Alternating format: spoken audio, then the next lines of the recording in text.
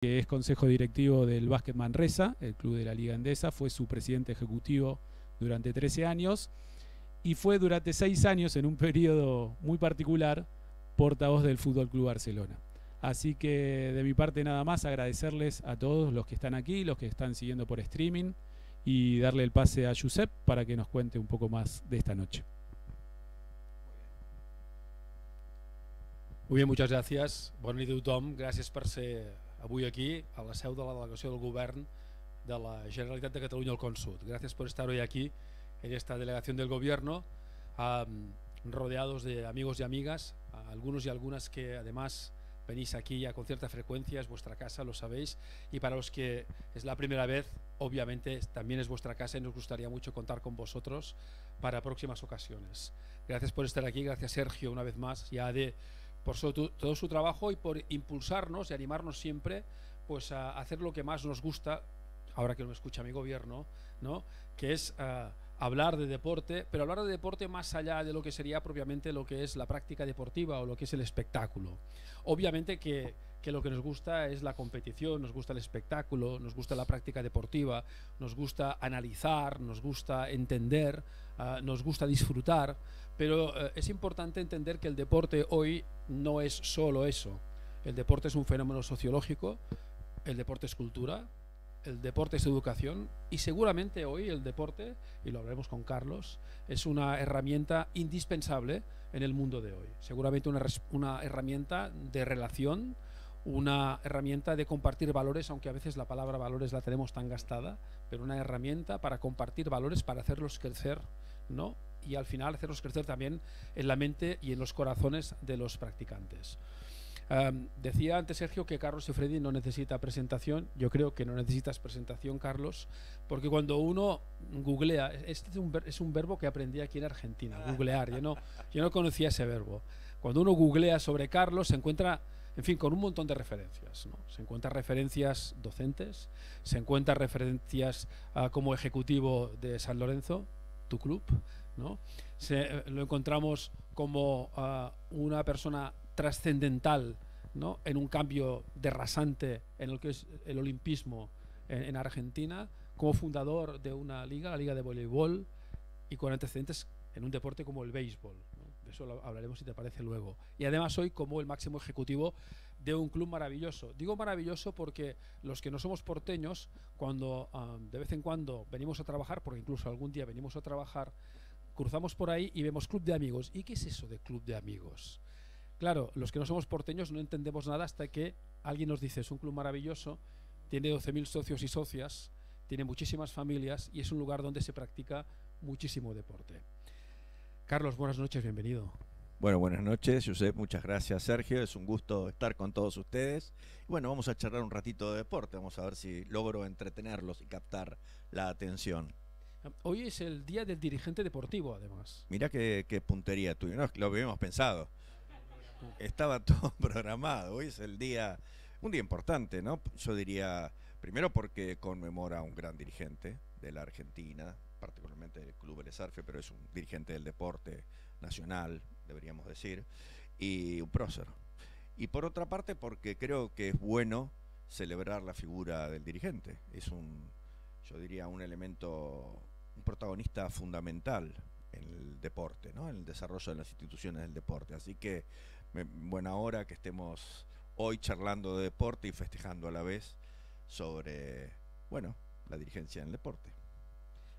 Durante muchos años, cuando hablábamos de dirigentes deportivos, muchas veces lo focalizábamos básicamente en el mundo del fútbol. Uh -huh. Eso ocurría mucho en Cataluña, creo que acá también, en Argentina.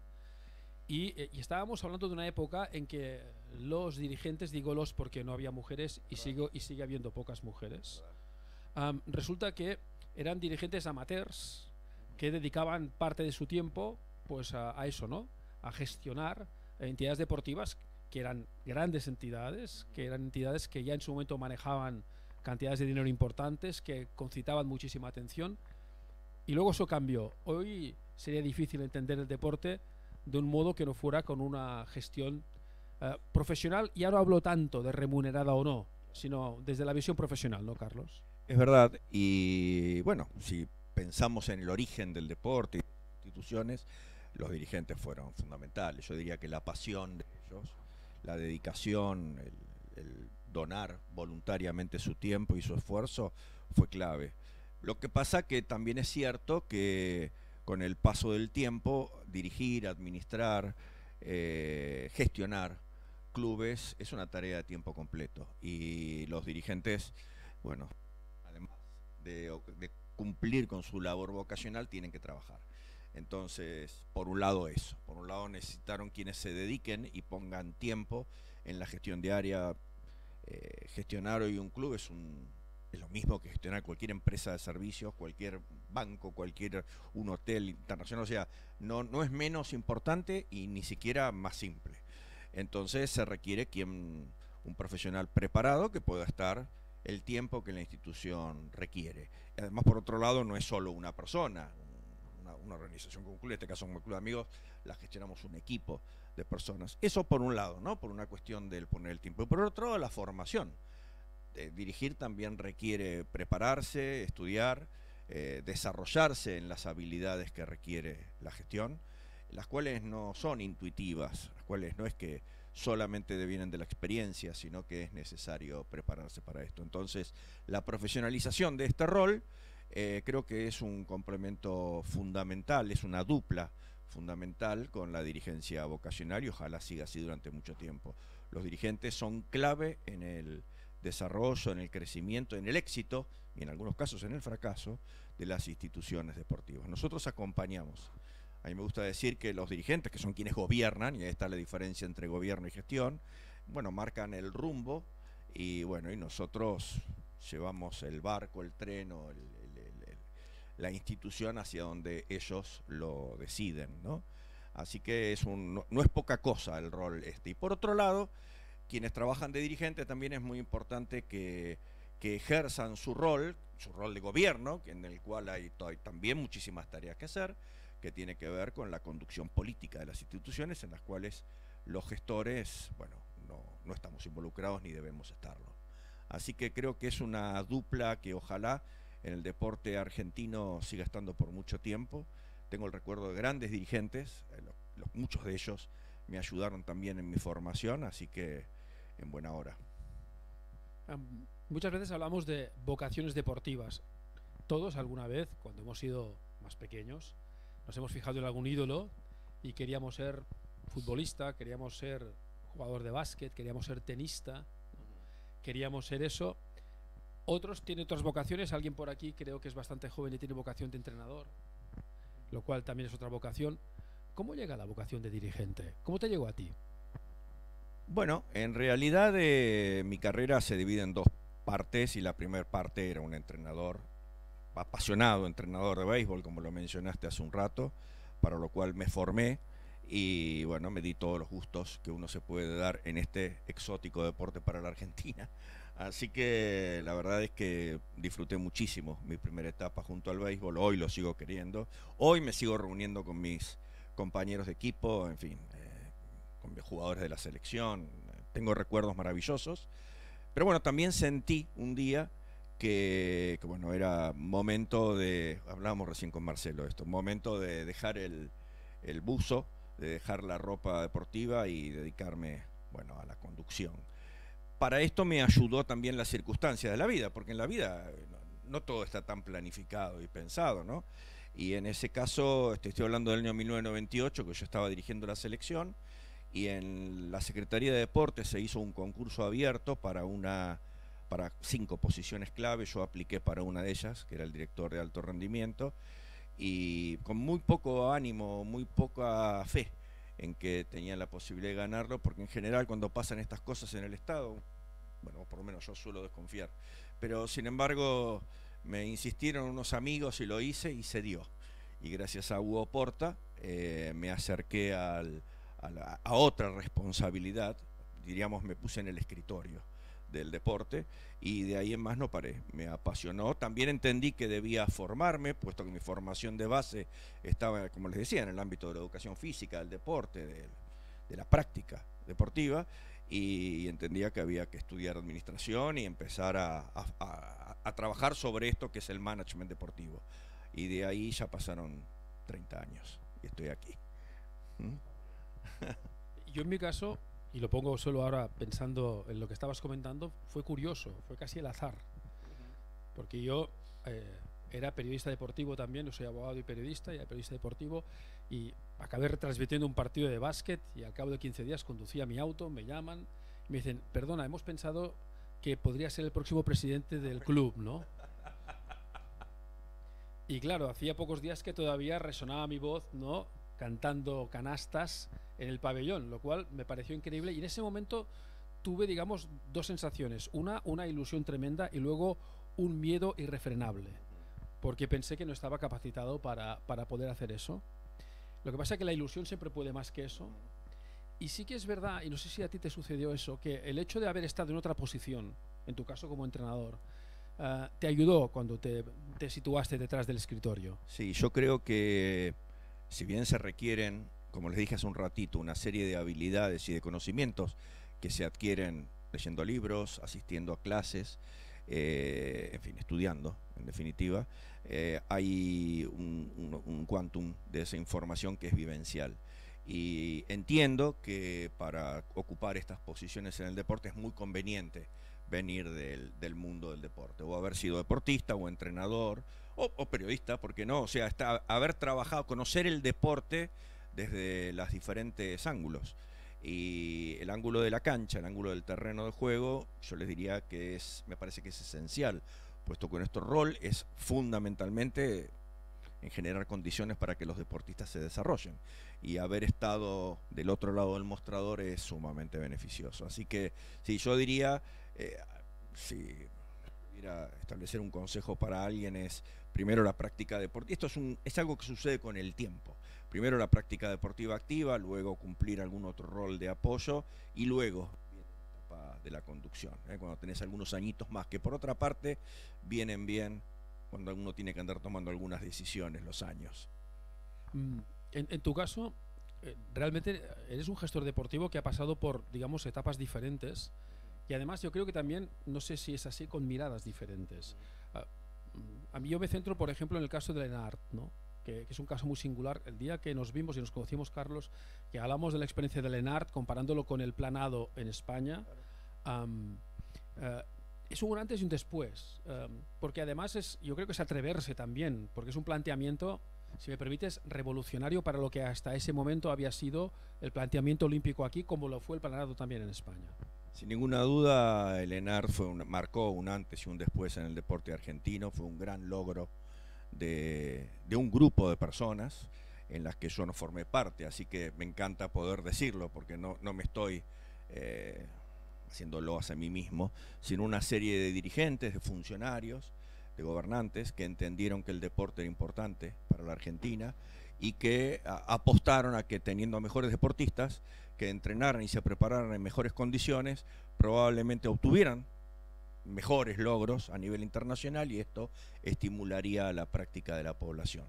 Esto fue muy importante en sus orígenes y digo en sus orígenes porque eh, realmente los primeros años del ENAR fueron disruptivos. Después es como todo, uno se termina acostumbrando y parece, parece que, que antes no hubiera habido un antes, ¿no? En general el deportista rápidamente se olvida de las penurias previas al ENART, pero sí, fue revolucionario para la Argentina, fue un programa, no digo fue, sigue siéndolo, pero yo porque ya no estoy, entonces lo, recito en pasado, pero realmente fue eh, clave. Yo diría que fue un elemento de financiamiento fundamental y por otra parte un punto de encuentro entre la sociedad civil y la sociedad política. ¿no? Es, es muy importante que existe un ámbito donde se reúne el Comité Olímpico, el Comité Paralímpico y los funcionarios del gobierno para pensar el deporte argentino, así que y, apoyarlo. Yo creo que es una gran herramienta y, espero que el ENAR siga muchos años, espero eh, que siga financiando al deporte por muchos años. Lamenté muchísimo eh, cuando el ENAR perdió su financiamiento en el año 2017, eh, su financiamiento genuino que venía por este cargo a la telefonía celular, creo que eso no fue feliz para la actual o la posterior situación del ENAR, pero bueno, esperemos que esto mejore con el tiempo. Seguramente si no hubiese sido por el ENAR, muchas de esas deportistas que están aquí no las habríamos visto triunfando como las hemos triunfando aquí. La enorme mayoría de estas deportistas y los deportistas tienen mucho que agradecerle a Lenar, puesto que les permitió, como decíamos el otro día, esa figura, entrenar de día y no de noche, no trabajar ocho horas y luego ir a entrenar, sino dedicarse al deporte de élite, que es la única forma de competir a nivel internacional. Así que muchos de los logros tienen el respaldo de, bueno, de esa hermosa organización. Hablabas antes de la generación también de referentes y de deportes incluso que gracias a eso salen de un cierto anonimato y se convierten en algo de consumo, digamos, no diría que masivo, pero sí bastante masivo, ¿no? Creo que hablábamos del hockey césped, por poner un ejemplo de un antes y un después en la práctica de ese deporte. y por otra parte también eh, eso, mm, visto desde, desde esa perspectiva, y, hablo ahora desde la perspectiva del Estado, no debería ser tenido en cuenta tanto como un gasto, sino como una inversión, ¿no? Sin ninguna duda. Primero, creo que el Estado tiene un rol legítimo en el desarrollo de oportunidades y condiciones que permitan que ciertas personas se dediquen a la excelencia, a las artes, a la ciencia y al deporte. Por un lado, o sea que hay un rol legítimo para el deportista en sí mismo, el deportista que espera ser de excelencia. Pero por otro lado hay un efecto eh, posterior que, produce el deporte de élite y que lo hemos visto en muchísimos ejemplos. El caso de las Leonas fue muy llamativo, previo al Lenar, de hecho fue en el año 2000, junto con la primera medalla olímpica en Sydney. Eh, bueno, el, impacto que produce en la, en la práctica de la población. Eh, y esto no es que nadie conocía el hockey anteriormente, de hecho acá tenemos un gran jugador de hockey, sino que lo que, lo que produjo es el deseo, la imitación. Es difícil enamorarse de lo que uno no conoce. Entonces, ¿cómo enamorarnos del judo, del patín, o, del voleibol, o del waterpolo? En fin, si en general no están en los grandes medios, y, en general, eh, bueno, no, es que tampoco hay muchos lugares donde uno pueda desarrollarse y practicar. Así que la visibilización de estos logros ayuda a que más chicos y chicas puedan hacer deporte y además entendiendo que no a todos les gusta el fútbol o les gusta el básquetbol, los deportes más populares o el tenis.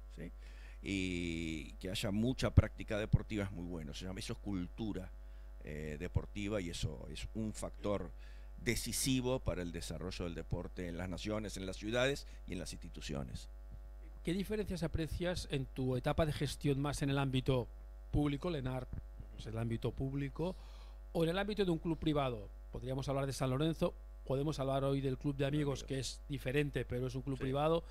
Mm, ¿Cómo lo has vivido? Esa diferencia entre un lugar, entre un lugar estrictamente privado y un lugar, digamos, de raíz claramente pública.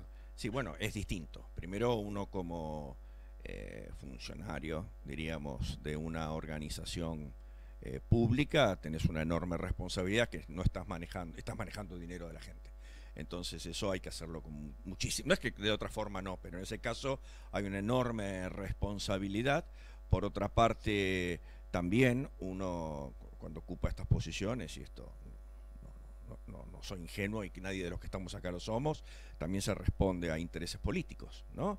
Y lo cual está muy bien, porque nada mejor que tener una buena política deportiva que direccione hacia, hacia dónde caminar, o si no uno anda a los tumbos por ahí. Así que eso por un lado, y una enorme responsabilidad también. Cuando cada uno de estos chicos se pone la camiseta argentina, no sé, yo lo siento distinto, es, es, muy fuerte para nosotros entender que lo que hacemos impacta sobre, sobre embajadores, sobre representantes. Así que les diría que tiene una responsabilidad enorme. Dicho esto, un club también es muy importante, ciertamente ahí tiene otra perspectiva, que es la perspectiva privada, uno ahí tiene que estar más atento a una población que es más chica, que son los destinatarios de los servicios que uno ofrece, los socios, en definitiva, como los llamamos en la Argentina, y tenemos también la responsabilidad de hacer las cosas bien, porque en términos generales, quienes son socios de los clubes eh, no regalan su dinero, aportan el dinero para recibir algo a cambio, ver un hermoso espectáculo deportivo o aprender a nadar o llevar a su niño a una colonia. ¿sí? Entonces, eh, yo diría, son dos caras de una misma moneda, son dos caras de una misma moneda con dos organizaciones que tienen naturalezas diferentes eh, y en consecuencia estrategias distintas.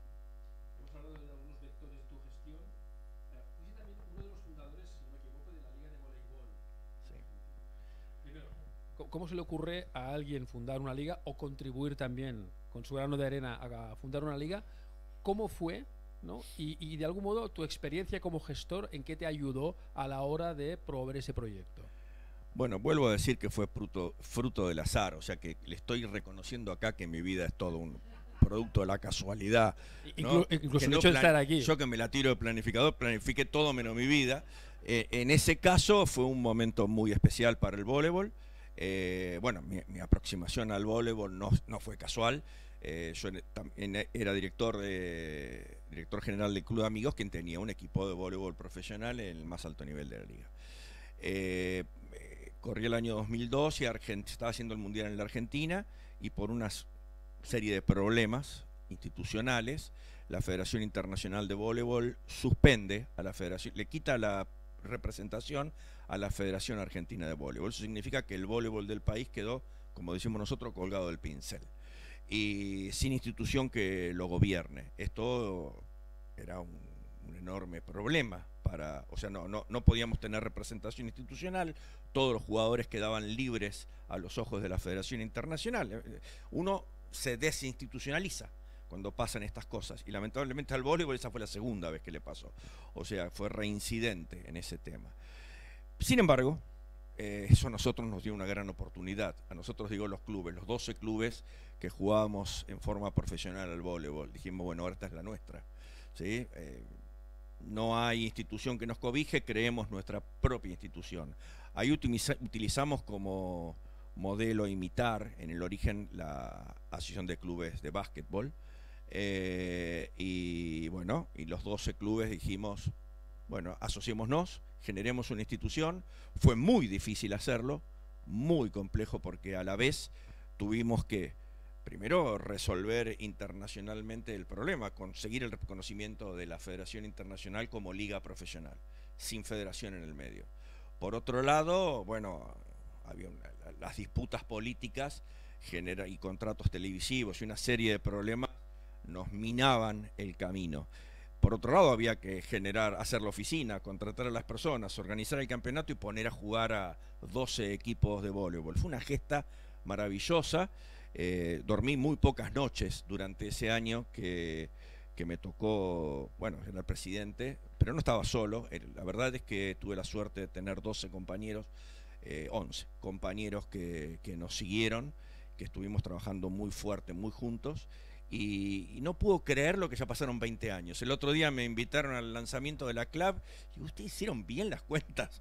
Bueno, pasaron 20 años y algo maravilloso y es que la club sigue parada, la club, que es, es la Asociación de Clubes Liga Argentina de Voleibol, sigue haciendo su campeonato y, bueno, eso es genial, es una obra maravillosa. Fue muy bueno hacerlo, yo creo que le hizo muy bien al voleibol de los clubes, puesto en la actualidad la competición entre clubes profesionales eh, bueno, tiene su propia lógica y es bueno que se gobierne a sí mismo. Yo diría, es un modelo que propicio, ¿no? no solo para el voleibol, sino para todos los deportes. Y esto no es que va en contra de las federaciones. Entiendo que las federaciones tienen que tener un paraguas por sobre lo que pasa con las ligas, pero bueno, las decisiones las tenemos que tomar quienes invertimos en el deporte, quienes, en fin. Eh, ponemos en juego muchas cosas para que los deportistas nos representen. ¿no? Así que fue una hermosa experiencia, muy grata y bueno, y de la cual también aprendí mucho, ¿eh? porque cometimos unos cuantos errores.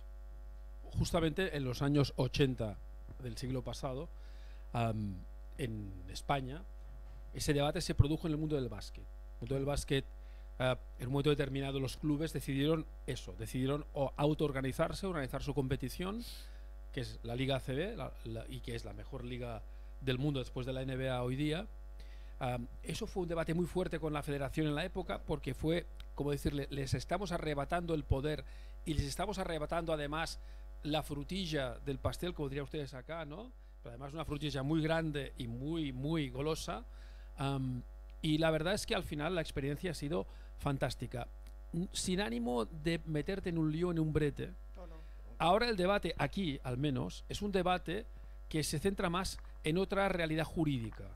Aquí el debate, y con Sergio lo hablamos a veces, el debate es los clubes tienen que seguir siendo clubes como fueron en su fundación a principios del siglo XX o a finales del siglo XIX, o vamos a un modelo de sociedad anónima deportiva que es un modelo profesional de gestión profesional y también de gestión de negocio más allá de la práctica deportiva.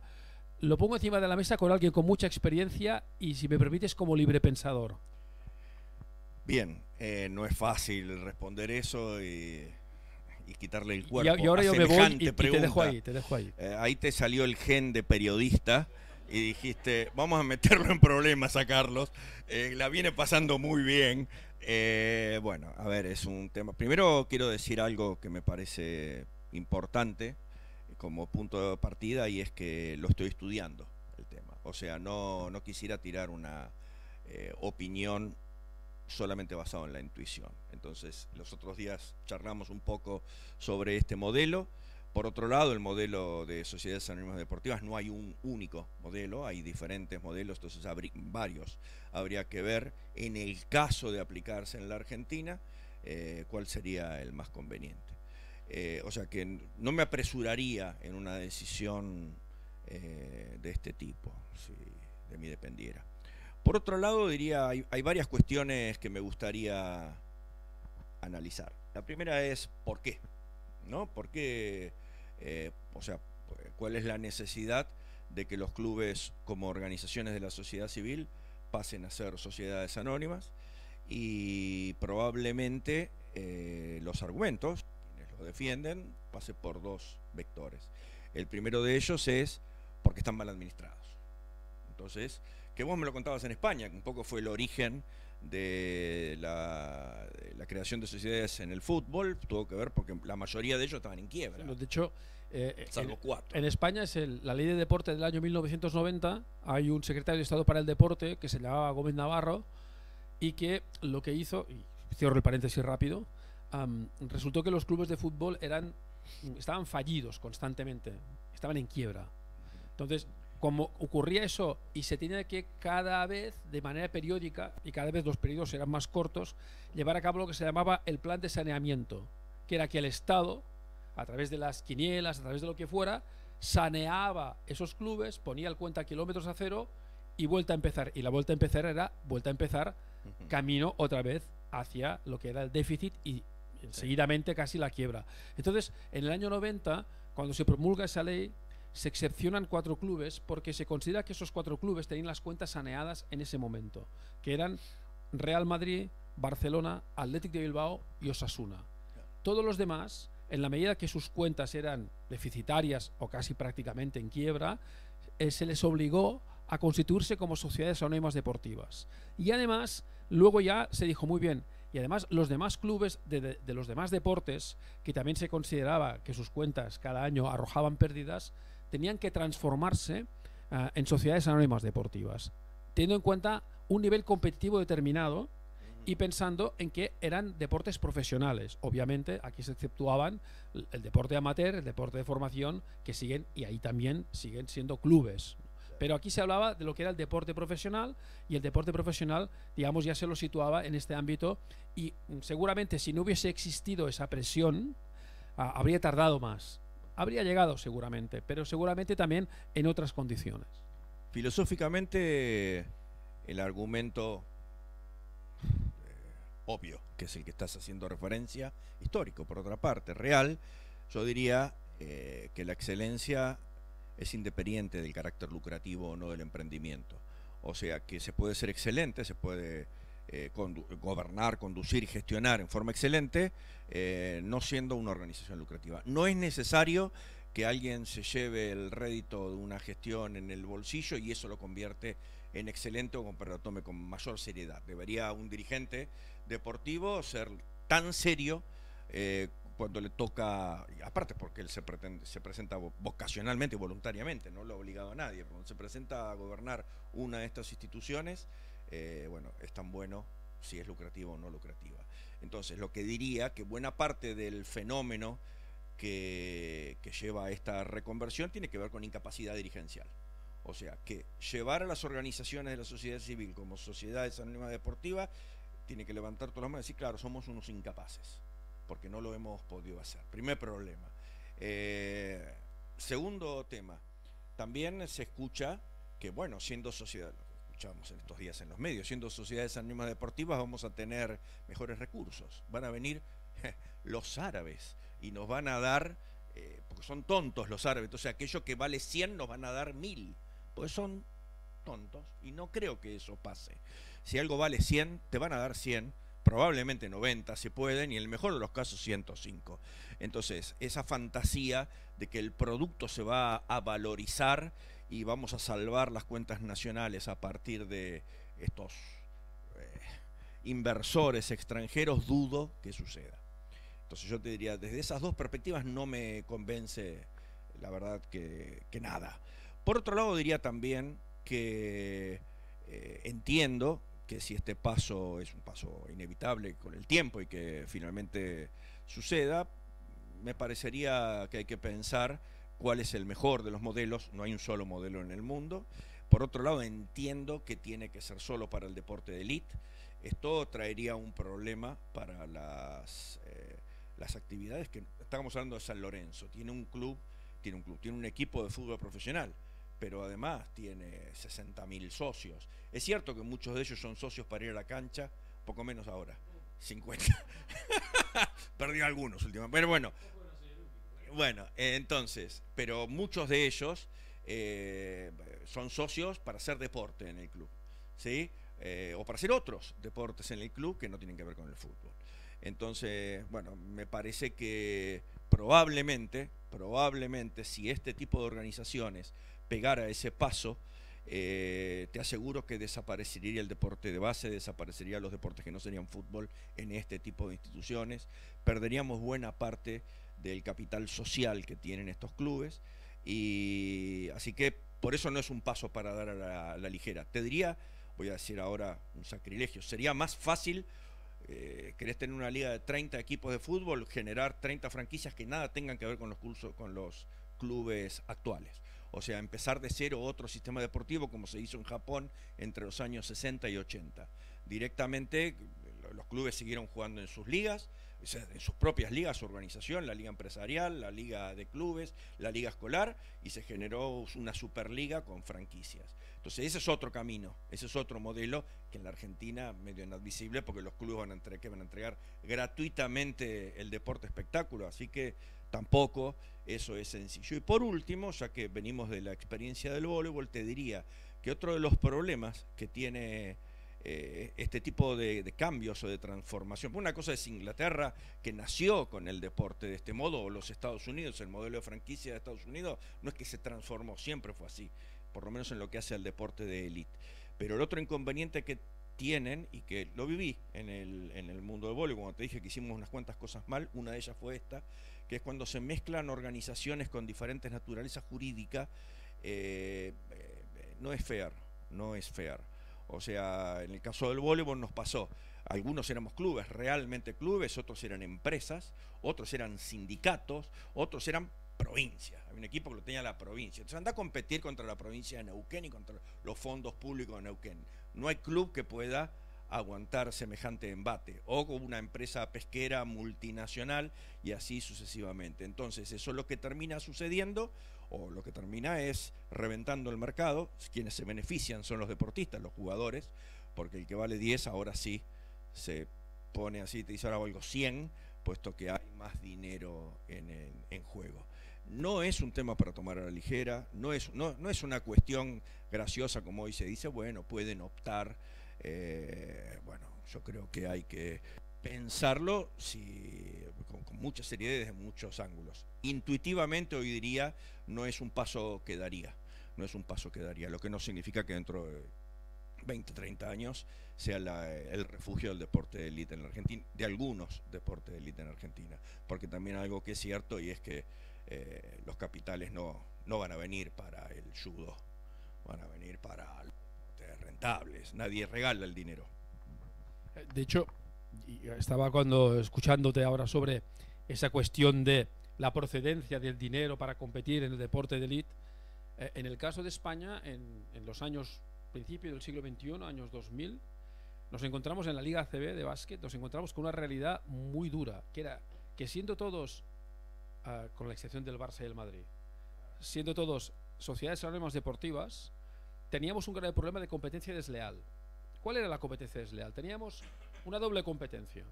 Había una competencia, el Barça y el Madrid, en su caso, tenían mucha plata que venía del fútbol, pero eso es, eso es algo de su naturaleza. Yo siempre decía, eso no es que sea, digamos, malo por sí mismo, al contrario, son grandes clubes que lo que hacen es invertir su dinero en aquello que les parece mejor. Y si de un excedente del fútbol quieren tener un gran equipo de básquet, pues me parece muy bien, ¿no? Fantástico. Pero el resto de clubes que éramos sociedades anónimas, teníamos uh, un grave problema, que es que había clubes que eran propiedades de territorios, de diputaciones provinciales, de comunidades autónomas, ¿no? Uh, de algunas corporaciones empresariales, pero sobre todo eh, la gran competencia desleal se producía en la llegada del dinero público, del dinero público a una competición privada, hasta tal punto que nuestro club Manresa hicimos una rueda de prensa con las cuentas anuales de todos los clubes un año, los pusimos encima de la mesa para que la gente los viera. Nosotros éramos el club y somos el club de la ciudad más pequeña que compite en la máxima categoría, que no es capital de provincia, que no es capital, no tiene uh, no es una capital de una comunidad autónoma, y que en ese momento del presupuesto más pequeño de la liga, el 90% era privado y el 10% era público. Cuando la media en la liga era que el 50% era público y el 50% privado. Es decir, teníamos solo una pequeña diferencia de 40 puntos. Uh, y además con una fiscalidad diferente, porque había clubes, por ejemplo los clubes de Euskadi, que tienen una fiscalidad todavía hoy ventajosa respecto a los demás. Es decir, que en una situación muy, digamos, muy desigual, que además también, también venía de algo que yo creo que sigue siendo un déficit todavía allí, que es el marco regulatorio. Tiene que haber un marco regulatorio, porque si no al final uh, toda la competición uh, al final uh, de alguna manera se adultera se adultera. Y yo creo que los marcos regulatorios, no sé si a, a, ti te parece bien o no, pero tendrían que ser en este sentido muy estrictos y que además el regulador de turno, uh -huh. sea la asociación privada claro. o sea la federación, en ese sentido fuera muy serio. Es que si hubiera marco regulatorio serio, no necesitas convertirte en sociedad anónima porque los clubes no quebrarían. Acá el problema son las reglas de fair play que no se aplican. El problema, no, no, a ver, no nos engañemos, esto, los clubes de fútbol tienen problemas económicos no ocasionados porque hicieron un vestuario grande, sino porque contratan jugadores que luego no pueden pagarle el sueldo o los premios que figuran en sus contratos, puesto que en términos generales eh, se fondean con ventas, entonces con, con, transferencias de jugadores. Entonces es una lotería, es un bingo, juegan a las cartas. Eh, si hubiera buenas reglas de fair play, o sea, si uno dejara de pagar un contrato y el club tuviera que descender, ceder puntos o cosas por el estilo, eh, o, presentar una liquidación con cierta frecuencia, no digo mensual, pero con cierta frecuencia, seguramente teníamos las cosas mejores. Y si hacemos las cosas mejor, probablemente no fundiríamos a los clubes y no sería necesario que venga el árabe a explicarnos o el ruso a explicarnos cómo hacer las cosas. Y, y en realidad esto tampoco, yo diría, eso es más sencillo que reconvertir el sistema deportivo, eso es bastante más sencillo, se requiere coraje y se requiere decisión, ¿no? Pero decisión de los actores centrales, o sea, aquellos que toman las decisiones en el mundo del fútbol, porque de eso se trata. Y además recordemos que otro enorme capital que tienen nuestros clubes, además del capital social, además de sus socios, son las instalaciones. Una, un fenómeno bastante particular de las sociedades anónimas o de los sistemas de franquicias es que las franquicias juegan en, estadios que son públicos, estadios de las ciudades.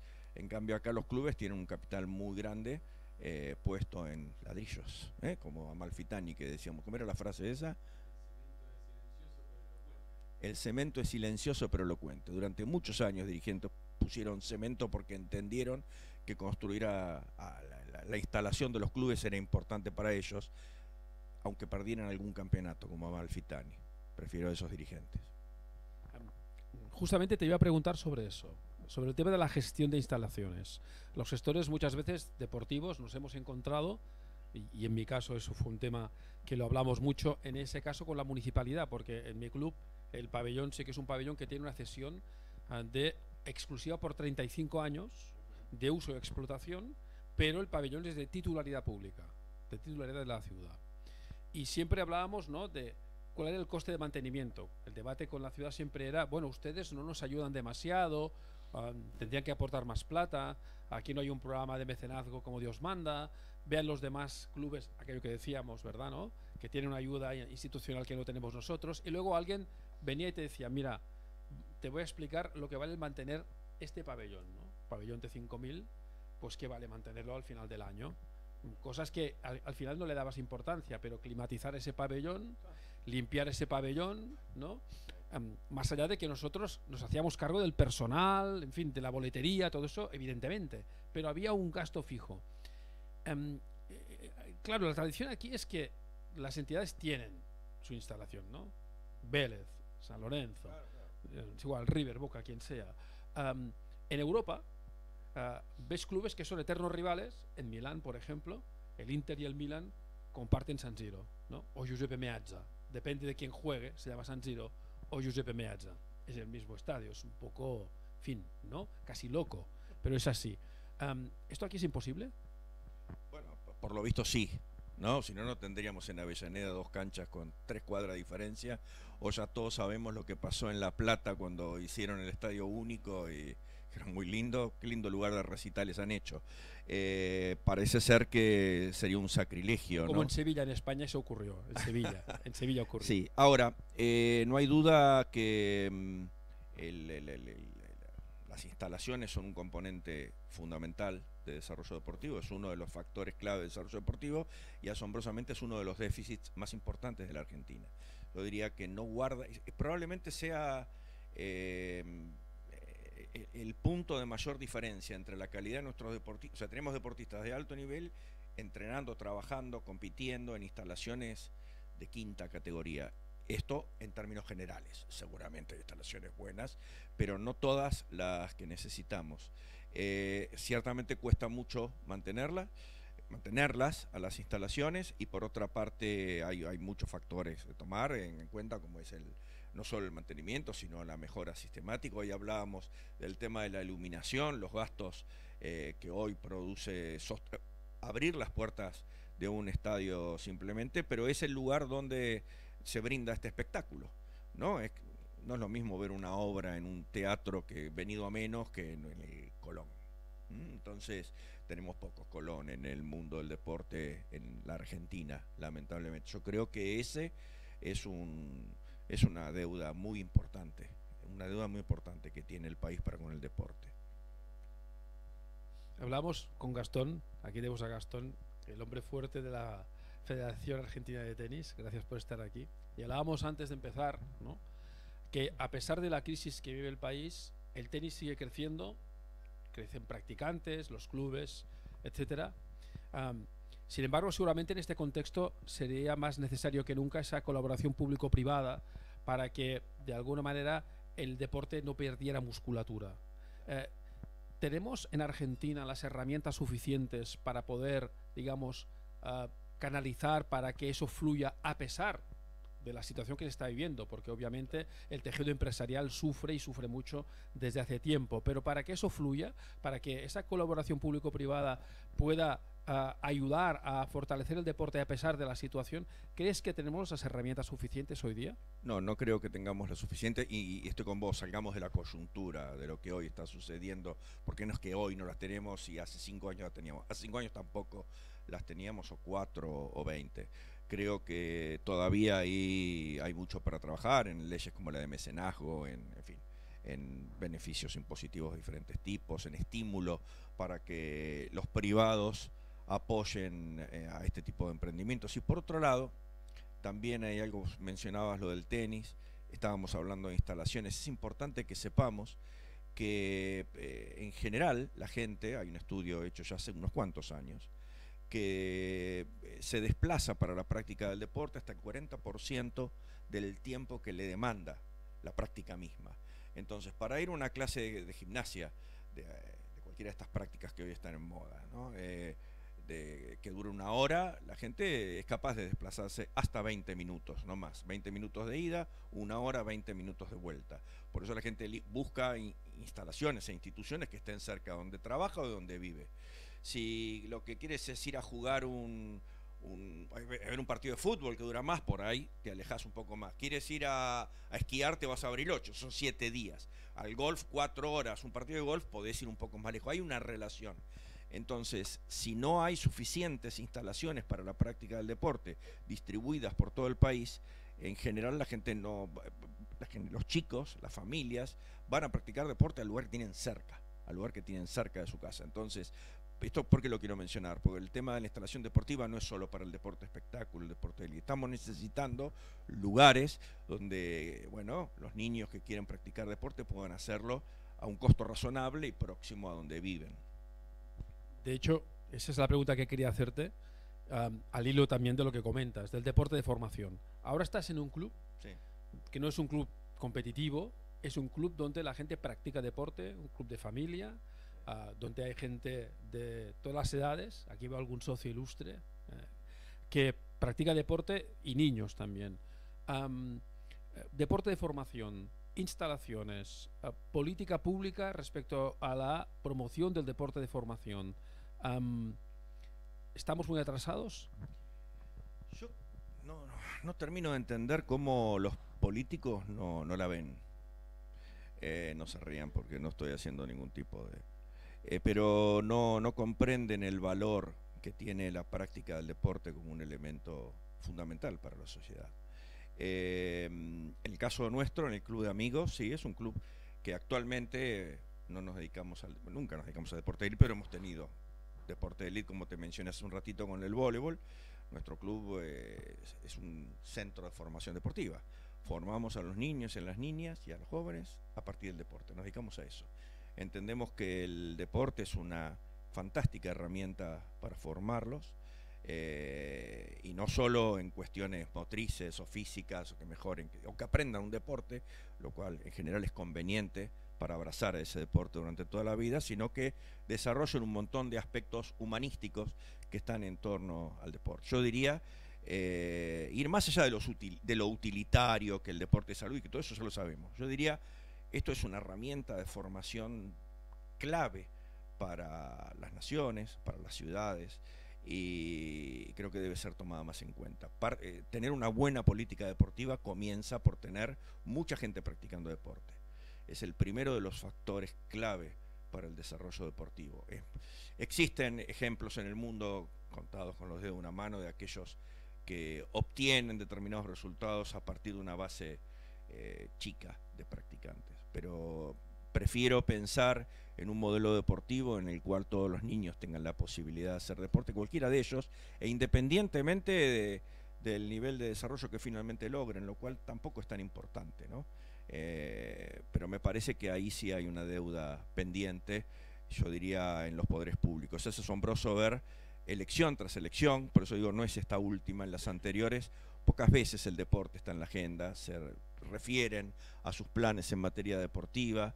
Eh, entiendo, hay otras necesidades, entiendo, hay otros aspectos que seguramente inciden más sobre el voto de la gente, pero es una pena que aún no lo, no lo asuman como un elemento tan importante como el que es. Y la verdad es que coincido perfectamente con este criterio. El peso del deporte en el Producto Interior Bruto en Cataluña es extraordinario y no por el Barça, que pesa mucho, a pesar de todo.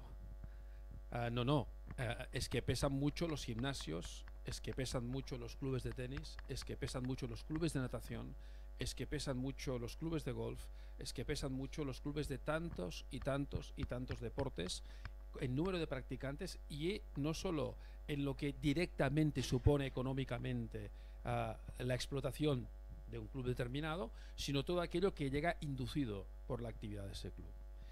A pesar de todo, no tenemos un ministerio. Mm, no es que lo esté reclamando a mi gobierno ahora mismo, pero seguramente estaría bien que hubiese un ministerio para el deporte. Hay una Secretaría General, ah, casi con rango de ministerio, que es lo mismo que ocurre, por ejemplo, en España. En España existe el Consejo Superior de Deportes, pero no hay un Ministerio del Deporte. A veces se ha habido el Ministerio de Deporte y Cultura, de Cultura y Deporte, ah, pero en realidad, cuando uno dice, muy bien, ah, eh, ¿cuál ha sido ah, eh, el espectáculo que mm, ha concitado mayor atención en el mundo en los últimos años? ¿Un mundial de fútbol? unos Juegos Olímpicos, ah, bueno, pues será por algo, será porque debe ser algo que interesa y debe ser algo... Ahí que- los políticos se acuerdan del, pilo- del ahí deporte. sí, ahí sí, ¿no? Y yo creo que eso es, es- es fundamental que alguien lo tenga en cuenta, ya mm, por todos los vectores, ¿eh? el vector económico, el social, el formativo. Y hablando de formación, quería encarar la, la recta final de, la- de nuestra conversación, después abrimos el diálogo con todas las personas que estáis aquí. Hablando un poco de las familias, porque hablábamos de las familias en, el club de amigos y, yo siempre tengo una cierta fijación por los padres, las madres y por los entrenadores y entrenadoras. Hace pocos días en Cataluña se hizo viral una imagen muy fea, de las peores que uno puede ver en una cancha jugando niños, que es viendo padres ah, agrediéndose en un partido de niños, de niños de 8 de 9 años. Que es lo peor que uno puede ver, porque es lo que nunca querría ver en ninguna parte, pero mucho menos en la práctica deportiva, en el deporte de formación. Y a veces hemos reclamado desde allí que no había planes específicos para formar a la gente en el deporte, para formar a padres y madres, para formar a entrenadores y entrenadoras, pero sobre todo padres y madres, a la hora de ah, acompañar a sus hijos e hijas en la práctica deportiva. Am, es un gran déficit, al menos allí, no sé cómo lo ves tú. Sí, acá también sucede en todo el mundo, es un fenómeno, eh, yo diría, bastante frecuente, puesto que los niños durante buen tiempo, hasta la adolescencia, eh, bueno, necesitan de los padres para la práctica del deporte y los padres se involucran tanto emocionalmente que ponen más de lo que deben poner. Eh, no es sencillo, no creo que tampoco sea fácil educar a, a todas las familias, pero, pero bueno, también es cierto que los padres son fundamentales. Sin los padres no hay chicos haciendo deporte, ¿no? Así que, eh, bueno, eh, mira, eh, la gente se acerca al deporte motivada por diferentes valores. Están los que se acercan al deporte motivados por el placer. Entonces, en definitiva, lo que quieren es pasarla bien haciendo deporte, los niños, disfrutar de la práctica deportiva, eh, un adulto que encuentra en la práctica deportiva un vínculo de relaciones sociales, o sea que el motor que lo lleva al deporte es el disfrute. Hay otros que se acercan al deporte eh, tratando de aprenderlo, o sea, están los que se acercan desde la perspectiva del, del conocimiento del deporte activo, ¿eh? la práctica, el desarrollo de las habilidades del deporte característico, por ejemplo, de al- algunas familias que llevan a los niños a que aprendan a nadar. Probablemente todas las familias de, todo el mundo llevan a a nadar, no pretendiendo que sean nadadores, sino que no se le ahoguen. Entonces hay una cuestión de, es bueno que aprenda una determinada habilidad. Eh, muchos que se acercan al tenis lo hacen porque esto le da cierto estatus, o el golf, o sea, por las relaciones que puede generar el aprendizaje de un determinado deporte y los deportistas de élite porque a partir de la competencia que genera a ver quién es más capaz que el otro, bueno, logra determinadas cosas que en algún lugar también lo satisfacen. Hay otros que se acercan al deporte como un elemento de salud y de bienestar personal, ¿no? Eh, entonces se encuentran en el deporte un lugar donde sentirse más saludable, más vivo, más apto físicamente. Y están los que también se acercan al deporte solo por, por pasión de, de conocimiento y lo consumen en forma pasiva y se enamoran y se acuerdan la formación de su equipo de 1944 y sabe todos los resultados. O sea, que lo que eh, encuentra en el deporte es una pasión cognitiva, podríamos decir. De una u otra forma, todos estos grupos que se acercan al deporte buscan en él algo que les provea algo tan maravilloso como la felicidad. Lo que pasa es que la encuentran de diferentes modos. Entonces, tenemos acá una herramienta que es cierto, de una dimensión, como acabas de mencionar, sirve para el desarrollo económico de las sociedades. Hay otros que lo refieren a la que invierte un dinero en un, un- cada dólar en deporte son no sé cuántos menos en salud. Hay otros que hablamos desde la educación, hay otros que hablan, pero en definitiva lo que permite el deporte es algo mucho más glorioso y elevado, que es que la gente disfrute del deporte, se sienta bien haciendo deporte, le resulte significativo y, y bueno, viva la vida a través de él. Eso me parece mucho más hermoso en sí mismo, que es la práctica del deporte por sí misma. De hecho, enlaza con la frase que me apunté el otro día cuando hablamos tú y yo que decías, el deporte está hecho para hacer feliz a la gente, no para ganar medallas. ¿Mm? De modo que, bueno, en cualquier caso, hoy, te, hoy sí que te colocamos la medalla después de este ejercicio que has hecho aquí, fantástico, erudito, acerca de la gestión deportiva. Y ahora sí que abrimos, digamos, la, la intervención, el diálogo, esta mesa, a todos ustedes para que puedan comentar, aportar, preguntar a nuestro ilustre invitado. Em, cuando estábamos saliendo de la pandemia, hablando con gente de una cadena de gimnasios de las más importantes de acá, eh, me decían, abrieron las peluquerías antes que nosotros. No tuvimos voz que nos represente y que explicara, como pasó en España, eh, se engancharon del eje el deporte de salud, si estás mejor de salud, no te enfermas, no agarras COVID. ¿Falta en Argentina, en Cataluña, eh, algún actor o algún colectivo más para que los políticos, por ejemplo, terminen de interpretar el poder que tiene el deporte para los intereses eh, menos bondadosos como es ganar una elección o para los más positivos como falta algún actor más vemos que en Cataluña hay clústeres que nuclean empresas hay cámaras hay federaciones hay asociaciones hay clubes. Falta algún actor más mira puede ser pero de todos modos yo diría también eh, para no ir deprimirnos, ¿no? Eh, cuando miramos 30 años para atrás estamos mucho mejor en materia deportiva y 50 maravillosamente mejor y 60 las mujeres no hacían deporte. O sea, que lo que quiero decir es, esto evoluciona, esto es una película, no es una foto.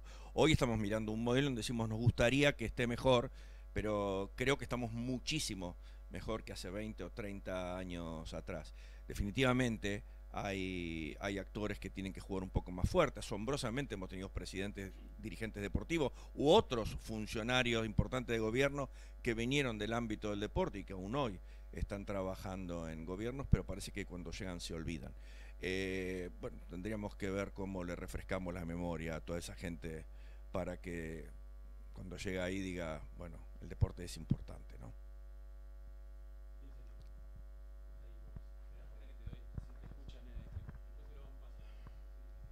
¿Cómo va? Un gusto, Boris de Sport Club. No, mi pregunta era más relacionada con la parte impositiva. Si los, yo no soy de los clubes de, barrio o de los clubes sociales, soy de Sport Club, siempre trabajé ahí toda mi vida. ¿Tienen beneficios impositivos los, los clubes? Claro, de hecho sí, sí. ¿Y crees que en, en, la industria de los gimnasios también deberían tenerlo? Eh, no, porque creo que lo que le da la exención impositiva a los clubes justamente es que el resultado de su ejercicio se reinvierte en la sociedad. En el caso de los gimnasios privados, el resultado de los clubes, eh, o de los clubes o de los gimnasios o de todo este tipo de emprendimientos termina en alguien que, bueno, que está haciendo dinero. Entonces me parece muy bien que, tribute. Esa es mi opinión, ¿no? Poco antipática, por ahí estaba esperando que dijera no, otra está perfecto, pero, pero tal vez lo ves realmente creo que, es un negocio más y como tantos otros negocios tiene que tributar, sí. Sí, tal vez viéndolo desde el punto de vista de que también brinda salud, ¿no? A la sociedad en general y, y lo que repercutiría a nivel a nivel salud en, los hospitales y demás. Desde ese punto lo encaraba yo, pero bueno, nada, está, está buena la respuesta, también es válida. Gracias. Poco poco política, ¿no? Pero bueno. Gracias. Bueno, primero eh, agradecerles la charla. Eh, me llevo varias frases y, varios disparadores, que, eso es lo importante, ¿no? Así que agradecerles. Segundo, eh, al principio de la charla hicieron mención de la importancia de la convivencia del, dirigente amateur con este, los profesionales, ¿no? Obviamente que hay muchos clubes, bueno, no sé si muchos, creo que hay pocos clubes que lo llevan adelante, la figura del director deportivo, la figura del director deportivo para, para gestionar los deportes, la figura de, en algunos deportes se le llama head coach, vamos a llamarle, eh, no digo cabeza de entrenadores porque no es una palabra muy, muy marketinera, pero jefes de entrenadores, además es decir, quien gestione un deporte para darle calidad a esa gestión, porque si no queda en manos de los padres voluntaristas del momento. Entonces, eh, en eso creo que todos estamos de acuerdo, pero también estamos de acuerdo de que muy pocos son los clubes donde esas subcomisiones ad padres voluntariosos, en muchos casos muy capaces, porque han tenido experiencias este, eh, gestionar recursos humanos seguramente en sus trabajos, pero en muchas otras ocasiones no, capaces. Este, pero bueno, ¿qué le podemos decir a esas subcomisiones? Porque cuando ven como una amenaza la, figura del director deportivo y en la excusa de eh, no tenemos presupuesto, se acaban las conversaciones. Yo creo que es una mirada chiquita esa. Por suerte, una vez más, eh, eh, bueno, está mejorando con el tiempo, Marcelo. Hace años atrás eran, todos éramos amateurs y esto fue evolucionando y hoy es una... Mira, mira qué interesante. No sé cuántos años hace que existe la medicina o la arquitectura o la abogacía y las sociedades profesionales que se dedican al desarrollo de esos campos eh, específicos. En el caso de la gestión deportiva, la primera asociación eh, fue la de los Estados Unidos, la norteamericana, y es en el año 1985. Rápidamente, en el año 92 vino la europea, más tarde mm, en Asia, en cabeza en Japón, luego Oceanía, hace en el 2008 en Latinoamérica. ¿Qué quiero decir con esto? Estamos en una práctica profesional muy joven. El 85 fue hace 10 minutos. ¿sí? Entonces somos, eh, yo les diría, una profesión en desarrollo aún, la cual todavía tiene también que, seguir mejorando y perfeccionándose. Eh, creo que en la medida que esto vaya sucediendo y que la sociedad vaya entendiendo de la importancia de la gestión profesional, creo que hoy lo entiende mucho más que hace 20 años atrás, eh, bueno, va a transformarse en algo inevitable. Te pongo una analogía interesante. Hace no mucho, 40, 50 años, la preparación física para el fútbol era exótica. Era exótica. ¿Y, y quién hacía? Y el preparador físico era un, era un, que masajeaba y, que iba a haber psicólogo en el fútbol y, la nutrición, o sea, todo esto fue desarrollando, fue desarrollando. ¿no? entonces, las ciencias aplicadas al deporte, yo te diría que es un, tema de los últimos 40, 50 años. Estamos hablando de gran magnitud, no es que no existieron antes. Eh, confío que en el futuro eh, esta profesión, que es la de gestor deportivo, o head coach, como lo mencioné antes, o tantas otras posibilidades para denominarlo, va a convertirse en insustituible. Insustituible para los clubes que quieran, bueno, persistir en el tiempo, ¿no? De otro modo, van a quedarse.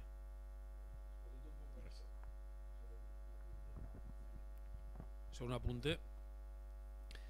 Y ahora mm, mm, te hablaré del deporte de formación. En mi club tenemos la parte de la sociedad anónima que decíamos, que es la parte del deporte profesional, el equipo que juega en la élite, y luego están todos los equipos de formación que cuelgan de un club, es decir, que no es la sociedad anónima, sino que es club. Bien, en el club hay lo que tú decías, que hay una comisión directiva, que la mayoría son padres, ah, que además trabajan mucho, que tienen una dedicación maravillosa, y luego está la dirección técnica del club. El director técnico en este caso a veces es el malo de la película, pero es el malo en muchos sentidos. Por la plata, pero también el que decide a final de temporada si un jugador sigue o no sigue. Y le tiene que decir a uno de los padres de la Junta, mira, que, el, que este año no. No porque queremos un nivel X y tal. Y además, claro, cuando tú eres padre, además, tu hijo es el mejor del mundo. Es el que mejor la pasa, el que más rebotea, el que más corre, ¿no? Entonces, pero, eh, ¿cómo, ¿cómo ha funcionado eso? Si blindas esa figura, y te das cuenta que esa figura es lo que te da calidad en todos los sentidos, también organizativa, al final, más allá de los disgustos personales que siempre van a existir, ¿no? Eh, la gente en el cómputo final se da cuenta de que eso es extremadamente beneficioso. Eh, voy a explicar una anécdota del año 1980. En el año 80, y un poco al hilo de lo que tú decías de cómo era el deporte, no hace tanto, no hace tanto el entrenador profesional del equipo profesional del Fútbol Club Barcelona de baloncesto se llamaba Antonio Serra.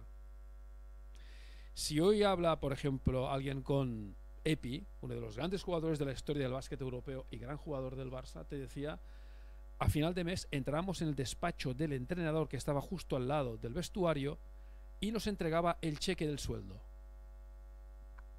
Y decía, este mes casi que no te pagaría. No has estado demasiado fino. No has entrenado con mucha intensidad, pero te voy a pagar. Claro, era el entrenador. Hoy es impensable que el entrenador profesional de una plantilla profesional sea el que le entregue el cheque al pívot titular del equipo. Eso es impensable. Pero eso ocurría en los 80 en una organización como el Barça. No hablamos de cualquier organización, pero esto era así. Entonces, hemos andado mucho. Hemos andado mucho. Perdón.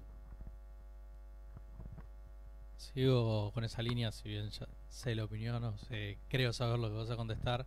Como disparador, ¿cuál es el peso de la formación específica en gestión deportiva? ¿Cómo ayudó al mundo, si es que lo ayudó a la maduración de la industria? ¿Y cómo puede ayudar a Argentina en todo lo que venimos hablando? Porque hablaste de las instalaciones, hablaste, bueno, vamos hablaste de las instalaciones, hablaste de, de las políticas, hablaste de los dirigentes. Eh, específicamente en la gestión, en lo nuestro, en, en, tu laburo, cómo puede ayudar la formación específica, cómo te ayudó a vos también, eh, a la industria, al país y, a, sí. personalmente. Bueno, cuando eh, yo comencé no existía carrera de gestión deportiva, o sea, la verdad es que era profesor de educación física con mucho entusiasmo y tuve que ir a estudiar administración y solamente hace unos poquitos años atrás pude hacer el máster. Eh, gracias a una beca del Comité Olímpico Internacional, digamos. O sea, esto es, también nuevo. Esto está sucediendo desde hace muy poco. Mismo en la Argentina aún no hay suficientes universidades que se dediquen al desarrollo de los gestores deportivos. Ese es un elemento fundamental, puesto que si no le vamos a estar pagando a quien simplemente nos dice, mira que yo sé y necesito profesionalizarme, ¿no? Eh, bueno, sería como pagarle a un médico tan solo porque tiene el entusiasmo de curarte. Entonces, creo yo que, es, muy, es un proceso que estamos siguiendo. Estoy convencido que en la Argentina van 1985 primer 1985 primera sesión profesional se juntaron para decir che sería bueno que formemos gestores en, para el deporte 1985 en los Estados Unidos hace muy poquitito. Y en la Argentina hace muy poco que hay carreras de este tipo, ¿no? Estamos teniendo los primeros egresados ahora peleando, pobrecitos, ellos jóvenes, en un campo profesional gobernado básicamente por idóneos o gente tan solo con experiencia. Es un elemento clave, Gastón, porque eh, vos bien sabés que hay un montón de conocimientos que son necesarios para gestionar con eficiencia sobre todo porque entendemos que esto es un trabajo serio. ¿sí? No es como, ¿vieron cuando alguien está haciendo ruido, lío, que yo te dice, eh, ¿qué se creen que es un club? Parece que el club fuera un lugar donde se puede hacer cualquier cosa, ¿no? Eh, o puede estar manejado por cualquiera. Les voy a contar una anécdota, ya que estamos con las anécdotas. Hace, voy a tratar de que no se de, se den cuenta de quién es la persona a la que estoy contando la anécdota. Voy a tratar de, de, de figurarle la cara, ¿vieron cómo se hace? Eh, hace unos años atrás eh, dimos con unos compañeros un programa de formación profesional para el rugby, para dirigentes de rugby. Y, y bueno, anduvimos por varios lugares del país formando en, en, los momentos en que el rugby se debatía su paso al profesionalismo. ¿no? En eso estoy hablando de hace unos añitos atrás. Y bueno, y asistían a este programa eh, personas eh, que eran, eh, recuerdo, presidentes de clubes de rugby y o quienes manejaban el rugby en sí mismo, en general el ambiente cultural de rugby eran todas personas con formación universitaria, o sea, gente eh, que digamos no era necesario explicarle algunos aspectos. Sin embargo, recuerdo como si fuera hoy que estábamos debatiendo la figura del, del gestor deportivo ¿no? Y, y, bueno, y en, la, y en la discusión, una, y recuerdo un caso que hemos desarrollado y una persona muy importante que vio ocultar el nombre, muy importante, pasó, representaba a su club, que era un, un presidente de una compañía lucrativa internacional muy importante, empezó a decir que él en el club no necesitaba tener un gestor profesional porque lo tenía a Juancito. Yo le dije, ¿quién es Juancito? Juancito dice, tiene la llave abre todas las puertas del club. Yo me lo imagino con un llavero enorme. Y, digo, ¿cómo es? No, él fue el hijo del intendente y sabe, y Juancito cobra, y Juancito corta el pasto, y Juancito hace esto, y Juan, es un fenómeno. que me vení con la universidad, con esto yo lo escuchaba, ¿no? Y que Juancito y que en los clubes eh, la gente se forma con la práctica, me decía entonces desarrollándose en los clubes, no son en serio en la universidad, yo que fui a la universidad tengo tres máster, Juancito y Juancito y Juancito. Yo le dije, ¿y por qué no lo llevas a Juancito a tu empresa? Instantáneamente me dijo, ¿qué quería? ¿Que me funda? Terminó de decir esto y se tapó la boca. 400 personas había sentadas. Sí, se tapó la boca, pues se había dado cuenta del error que cometía, que es esto que decíamos hace un rato. Juancito es bueno para el club porque el club es, ¿sí? Más o menos. Ahora, no para esa importante empresa. Para esa importante empresa, seguramente cuando él busca a quien ocupa el rol de Juancito, espera que tenga carrera universitaria y demás. Esto tiene que ver con la desvalorización de las instituciones deportivas como tal. Parece que fueran de segunda línea. Y hoy dirigir un club requiere un trabajo profesional y tener un montón de conocimientos que Juancito no se los dio a la vida.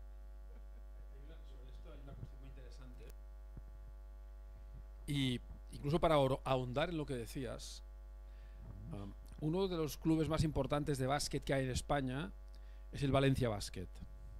Y el Valencia Basket es propiedad básicamente de un señor que se llama Juan Roch, que es una de las personas económicamente más potentes de España, porque es el propietario de Mercadona, que es la cadena, digamos, de supermercados más importantes de España y seguramente de las más grandes del mundo, de Europa seguro. Bien, Juan Roch, que es buen amigo y un genio, y además una persona que uh, se ha dedicado muchísimo a ayudar al básquet porque lo siente, porque lo quiere, porque lo ama, es su pasión. Está muy bien.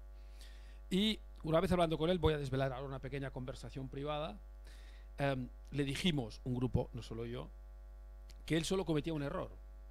No era invertir en básquet porque él invertía mucho dinero, porque él creía en eso, quería hacer un buen equipo, quería tener eh, equipos de formación, ahora los tiene, ¿no?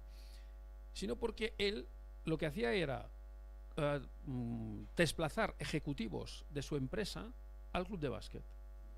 Con lo cual ponía de director general a una persona que seguramente en su empresa era muy buena, ¿no? Sabía mucho de lineales de yogures, y lo digo sin ningún acto peyorativo, es decir, yo no sabría organizar un lineal de yogur, seguro que no, pero en cambio no sabía manejar una empresa deportiva. Ya no hablo de si sabía detectar el talento para fichar un jugador o gestionar una negociación con un representante o organizar uh, la instalación. No, ya no hablo de eso. Hablo de cosas incluso más básicas, ¿no? Porque al final eso tiene una especificidad muy distinta. Y aunque evidentemente este hombre venía de una gran organización, de una empresa muy importante, de una empresa de éxito, cuando lo trasladabas al ámbito deportivo, no funcionaba. ¿Por qué? Porque no estaba formado para eso. No estaba formado para eso. Y aquí no hablamos de Juancito, hablamos de un señor que venía alto ejecutivo, alto ejecutivo de una empresa muy importante que contaba con toda la confianza de la propiedad. Y era operación fracaso cada vez. Hasta que al final, ¿qué ocurrió?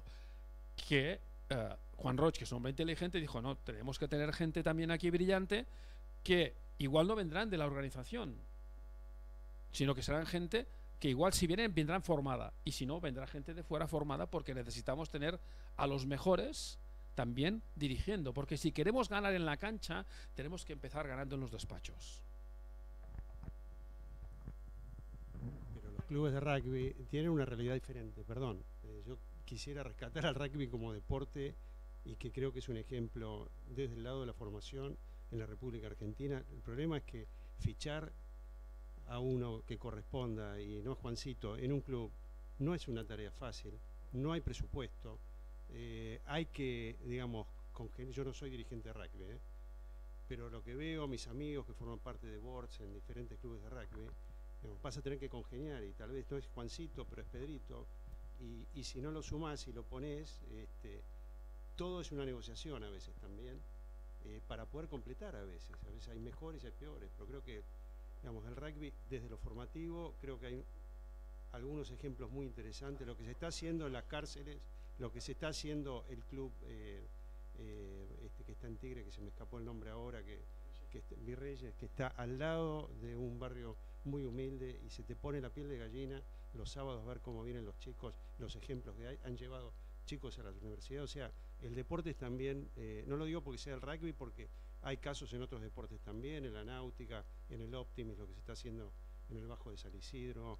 Este, en fin, yo creo que ese es el otro lado también del deporte que quiero rescatar acá. Y, el rugby, pese a, todo, está pese a esta puja con el profesionalismo, eh, pladar de por medio y todo, los clubes todavía están logrando que, digamos, que, se pueda mantener esa esencia y esa combinación como prácticamente en ningún otro país del mundo está ocurriendo.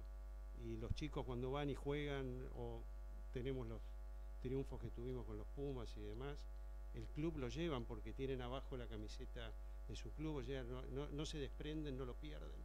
Eh, todos saben, digamos, qué colores defienden, ¿no? a diferencia de otros deportes superprofesionales. ¿no? Me quedó, no pedí el micrófono, me quedó en la mano y no lo voy a desaprovechar. A mí es lo que mejor me pueden dar es un micrófono. No, muchas gracias, un, gusto, un honor, un placer estos regalos que nos damos todos mutuamente. Así que muchísimas gracias y voy a cambiar un poquito el eje. Eh, hablamos de pasiones, hablamos de ser humano, hablamos del deporte y la salud y Tokio nos dejó eh, el tema de salud mental, ¿no? el tema del bienestar sobre la mesa. Y, si bien los atletas visibilizan eso, ¿no? Como el actor principal o quizás, no quiero decir, bueno, el, que mueve la, galleta en el circo, todos los que formamos parte, ¿no? Eh, eh, entrenadores, ¿no? Porque en definitiva el atleta descarga su pasión o su energía en la cancha. Eh, lo que le pasa a un entrenador es terrible y las presiones de un dirigente o, un, o de un este, gestor, ¿no? A veces y sobre todo en nuestros países vivís en la línea de la, de, la explosión continua, ¿no? Y, ahí decís, pucha, trabajo en el deporte, hago deporte y no sé qué tal la salud. Así que me gustaría saber qué, qué, qué piensan hoy ya no es algo nuevo, lo sabíamos, igual que el tema de, ¿no? de, lo que es el bienestar y el deporte sano, digamos, lo acoso al abuso, existieron siempre, pero hoy los pusimos sobre la mesa y nos obligamos, en cierta forma, a clubes y organizaciones a tener que hacer algo. Me gustaría saber qué estás haciendo en ese aspecto, que sé que siempre el entorno también te llamó, o qué, qué, me pueden decir de eso. Sí, bueno, no, no hay duda que el deporte de élite eh, es cada vez más exigente y las exigencias no solo son físicas, ¿sí? son sociales y son psicológicas, como la que acabas de mencionar. Eh, entiendo que para contrarrestar o, enfrentar este tipo de desafíos, eh, hay también un proceso educativo paulatino. Muchos de los, nuestros atletas o nuestros jugadores de fútbol profesional llegan a, esos escenarios maravillosos, llenos de público, con presiones de todo tipo, eh, y no están, están preparados para hacer goles, pero no están preparados para enfrentar la gloria, enfrentar ese tipo de presiones. Eso sería muy fácil decirte es trabajo de los psicólogos, de hecho lo es, pero eso es como la última parte de la construcción del deportista, ¿no? que no es poco importante, nada es poco importante en el alto rendimiento y no sé cuánto aporta, es importante. Pero creo que es un trabajo que también tiene que estar en, este, en esta currícula de la formación del deporte.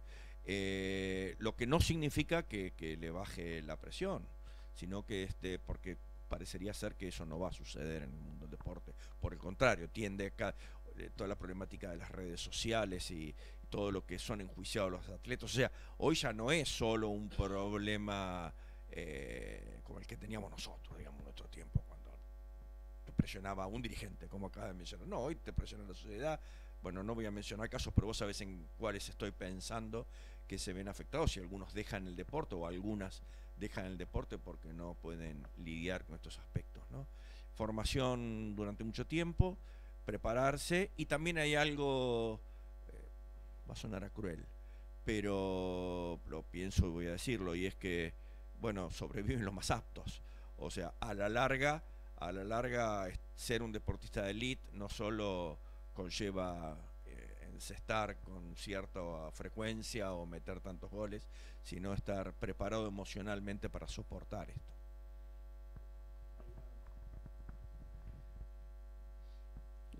yo siempre me, siempre me acuerdo mucho, perdón, de una frase, me acuerdo mucho de una frase, y ahora escuchándote, que se daba mucho en el Camp Nou, en el campo del Barça, cuando se decía que la prueba de fuego para un jugador en el Camp Nou era superar el silencio de 100.000 espectadores. Cuando tienes a 100.000 espectadores que solo susurran, que casi cuando gritas puedes escuchar al del otro lado sin ningún problema y sin alzar mucho la voz, eh, eso es terrible. Porque quiere decir que estás instalado en la indiferencia de 100.000 personas. Y luego uno se convierte muy chiquito, casi se confunde con el pasto. Y ese momento es muy difícil de superar. Entonces había jugadores que tenían la fortaleza mental para hacer eso, ¿no? El arquero que comete un error garrafal y le meten un gol ridículo y se levanta y sigue jugando. Y otro que casi querría irse directamente al, al nudo del infierno. Y, eso mm, forma parte de un carácter, también de una formación y de un trabajo colectivo. En, mi experiencia, el trabajo muchas veces, y nos hemos encontrado así con algunos jugadores, ha sido un trabajo, digamos, coordinado. El entrenador tenía un trabajo, el psicólogo tenía un trabajo, el recuperador tenía un trabajo. En mi club, por ejemplo, durante mucho tiempo tuvimos un recuperador fantástico que era el mejor psicólogo que tenían los jugadores. Era impresionante en esa camilla cómo se recuperaban de tantas cosas y lo que hablaban y lo que intimaban y lo que, digamos, sacaban. Y eso era extraordinario. Bien, pero e- era algo que estaba, todo el mundo tenía un papel en esa obra. Y estábamos todos coordinados porque en función de que en función además de cada individuo, porque en el grupo todos los individuos no son iguales. En una conversación hace mucho tiempo, yo era periodista con Johan Cruyff. Johan Cruyff era el entrenador del Barça en ese momento y, tenía el Barça dos grandes estrellas. Uno era Risto Stoichkov y el otro era Michael Laudrup. Bien, Cruyff, que era un tipo extraordinario, él trataba a todo el mundo por igual, desde su posición de mito absoluto. Cuando eres mito y eres leyenda viva, caminas sobre las aguas, ¿no? Estás en otro, estás en otro nivel. Y siendo buena gente, porque Cruyff era muy buena gente, podía, ser, podía llegar a ser muy duro y muy cruel con sus jugadores. Y lo era. Y lo era. Entonces yo un día en una conversación informal le dije, perdona, yo creo que no puedes tratar igual a Stoichkov que a Laudrup. Porque Laudrup era un hombre, y sigue siendo un hombre, ¿no? Digamos, de finezza. Jugaba como jugaba con esa elegancia, pensaba con elegancia, hablaba con elegancia, y Stoichkov era otra cosa, ¿no? Stoichkov era un animal competidor, un tipo que además cuanto más le gritabas y más le provocabas, más le hacías crecer y él tenía una agresividad, era tremendo. Entonces, claro, eh, digamos, no, podías tratar de la misma manera para sacar el, el mejor partido de los dos jugadores. Y él decía que no. Y era un entrenador fantástico. Y en cambio no trataba igual, porque yo creo que no tenía, digamos, esa mirada que decías tú, ¿no? Esa mirada no la tenía. Pensando incluso en el carácter, en, en de dónde venían, de qué cultura provenían. Todo eso es fundamental. Porque eso al final también incide en el rendimiento y en el bienestar. Porque luego vamos al bienestar. Más allá de si ganamos o perdemos, es el bienestar del o de la deportista. Lo que tú decías, ¿no? Lo que vimos en Tokio de deportistas que se bajaron, ¿no? ¿no? Simon Bale, ¿no? Cuando se baja y dice, no puedo más. ¿Cómo que no puedo más? Si eres la mejor del mundo, si has nacido para eso. Incomprensible, ¿verdad? No, incomprensible si no has estado nunca ahí. Hola, ¿qué tal? Eh, bueno, un placer escucharlos y un placer que traigan estos temas acá. Así que, siguiendo en esa línea, eh, no solamente tenés que ser el uno. ¿Cuántos chicos dejan de jugar por eso? ¿Cuántos chicos? Y por la hostilidad de sus compañeros o por una hostilidad de adultos que no saben manejarlos, por mucha falta, y yo que me toca ser head coach, y, y uno de, los grandes vectores que atiendo es justamente la educación de los adultos con respecto a cómo tratar a los jóvenes deportistas. Y es una política. Y es una política por la que voy atrás y por la que también me pega mucho, ¿eh? porque vos como sabés que esto es así. No sé qué es así, pero en la continuidad de un chico haciendo deporte es donde se ve el éxito, en ese disfrute que tiene. Entonces creo que, y no tiene que ver con que no se frustre, al contrario, tiene que ver con que se frustre y que sepa de la frustración levantarse y volver y sacarlo mejor y tratar de siempre ser su mejor versión, que no es ser el mejor. Entonces, eh, creo que todos somos un poco culpables de la falta de bienestar mental de los deportistas, pero no de los que están en la elite, de los que están formándose, de los chiquititos, de los que van al club con los abuelos, con los papás, con quien sea. Entonces me parece que es una cosa que, tenemos que, trabajar mucho. Pero fuera de eso, que es una cosita aparte y que quería traer, eh, desde mi rol en la gestión, que amo profundamente y llevo a cabo y siento siempre que es como que la gestión es hacer que las cosas pasen y, es lo que me gusta. Eh, la dificultad más grande que encuentro en el ejercicio de mi rol es em, en armar equipos en donde tengan fácil el acceso a las herramientas que nos permitan hacer que las cosas pasen. Ejemplo, un abogado que esté em, cercano a, lo que es la ley del deporte, el derecho deportivo, eh, que no pasa. Y son cosas que te hacen perder tiempo en sponsoreos, en patrocinios, en, gente eh, que esté en el departamento de finanzas que nos ayude a decir es por acá o es por allá y hay una ley boca que te permite esto y una ley lo otro. O sea, la formación de ese equipo es tremendo de difícil y retarda mucho la parte de la gestión. Entonces, ¿qué podemos hacer para que esto sea más ágil, más fácil, más, no sé, es, eso es, una, es algo que realmente me preocupa, saber por dónde voy con esa parte.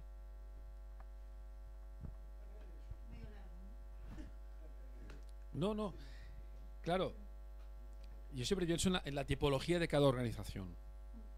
Si hablamos de una gran organización, eso lo tiene resuelto. En una gran organización, al final, cuando estás en un club muy grande, pues al final tienes especialistas en todo.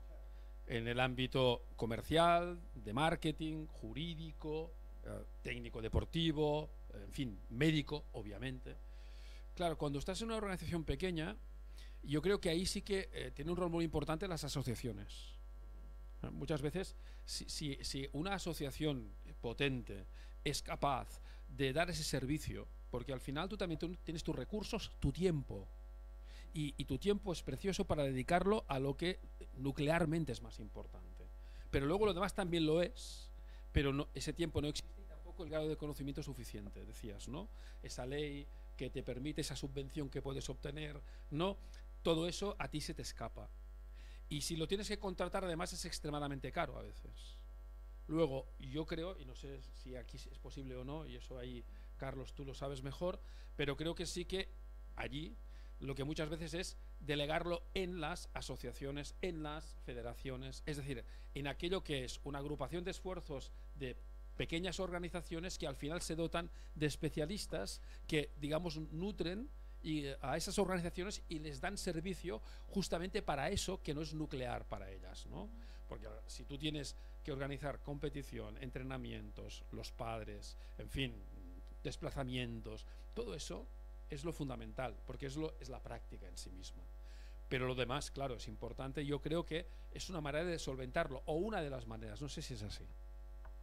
Sí, obviamente, ah, cuando uno habla de gestión deportiva, el campo cada vez es más extenso y cada vez más especializado. ¿no? Por eso, eh, el caso, yo soy director general de un club y tengo cinco gerencias. las cinco gerencias eh, que reportan a mí saben mucho más del tema que yo. En San Lorenzo teníamos 11, o sea, ninguno, pero claro, necesitas especialistas y lo que uno termina siendo es un gran generalista y un armador de ese equipo para que cada uno pueda expresarse. Los clubes pequeños, bueno, tienen la problemática de que a duras penas, como decía Marcelo, le pueden pagar a uno, como hacen para resolver todo esto.